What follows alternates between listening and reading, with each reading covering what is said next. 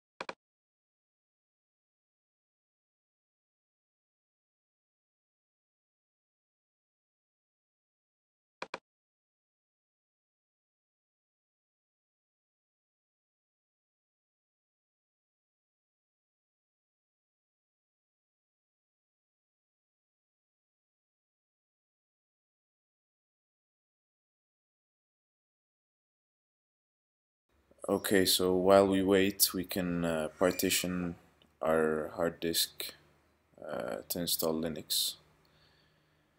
Um, you can, well, open up disk utility and uh, click on your main hard drive and click on partition.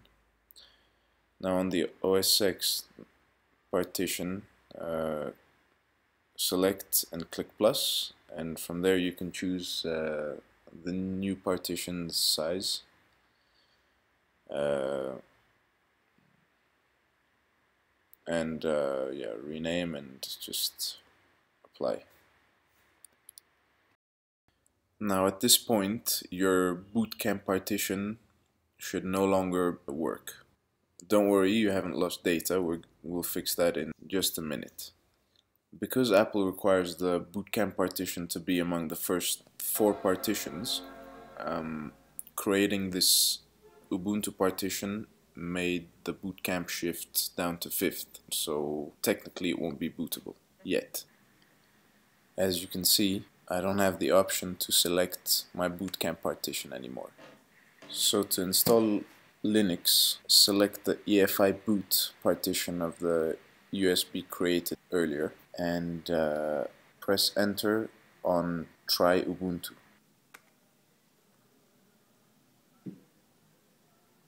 Once you boot into Ubuntu, click on the install Ubuntu icon on your desktop.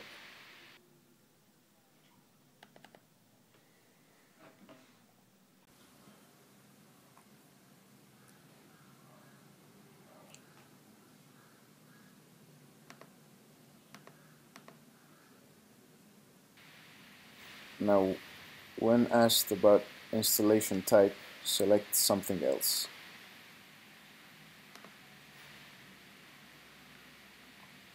And if you remember, I partitioned my uh, Linux at 50 gigabytes. So double click on the the Linux partition and uh, select the bootloader installation partition to be the same as the one you're installing Linux on. In my case it's SDA4.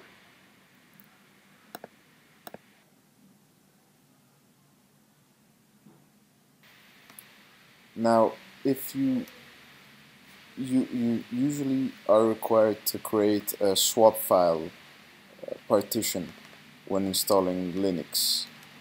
Uh, this helps uh, the system run faster when uh, uh, when you run out of memory, but um, because I've got 16 gig of RAM, I'm not gonna do it. But if you have anything less than 6 or 4 gig, I would recommend you create a swap partition as well.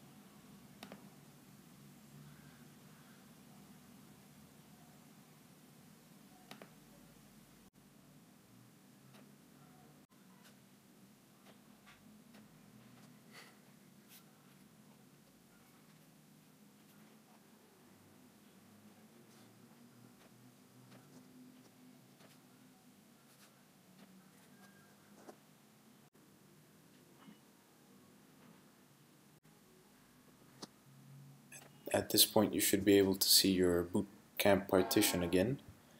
Uh, however, it still won't be bootable. Uh, don't worry, we'll fix that in the next step.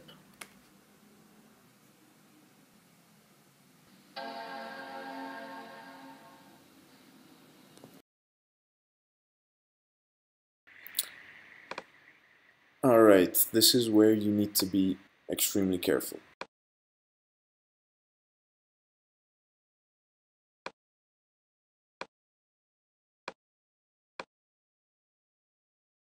Make sure your Ubuntu and uh, well your Linux and Windows partitions are are there.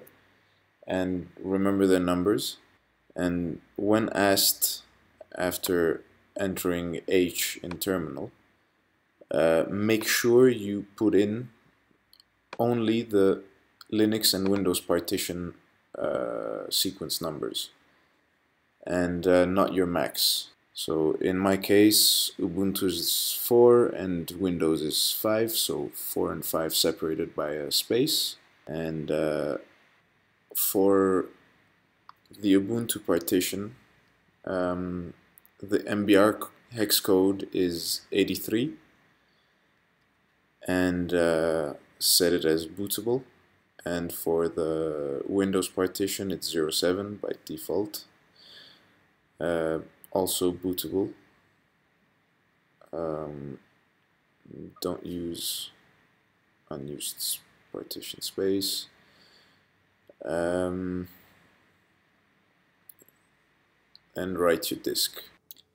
Once that's done, you can restart your uh, computer holding the Alt Option key. If everything has gone well, you shouldn't be able to see your bootcamp partition anymore again.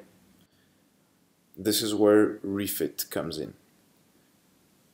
You can also try repairing uh, your hard disk permissions uh, to make your bootcamp visible, but uh, I wouldn't recommend it as it might mess up the hybrid master boot record.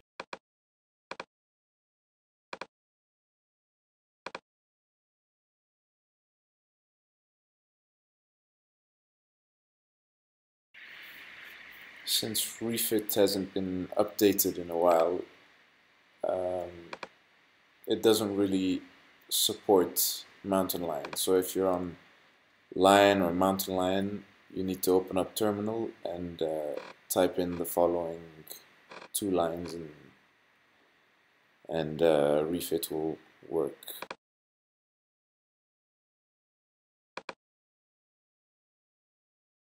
At this point, you should see a Linux logo in your refit boot menu but if you don't like uh, like in my case now then uh, you need to repair the grub menu in your uh, Linux partition. Just enter in the first EFI icon you see before the apple and select Ubuntu. Boot in your Linux partition so go on the following link and uh, repeat the steps to repair the grub menu in your Linux partition as described in the website.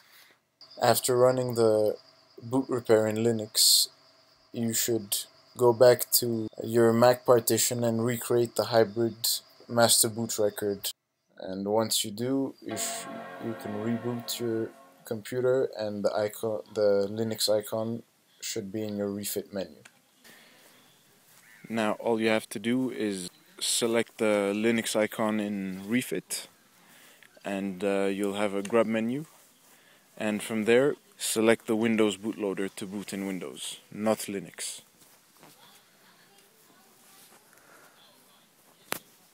Once Windows boots, you can restart your computer uh, and uh, delete refit and you you'll now be able to access your bootcamp partition and the grub menu without refit by holding the alt option key. To do that just go in uh, your computer's hard drive and uh, delete the EFI folder and uh, go into library and go down to startup items and delete the refit blesser. This completely removes refit. Now restart your computer holding the alt option key and you'll finally be able to boot into whichever operating system you choose.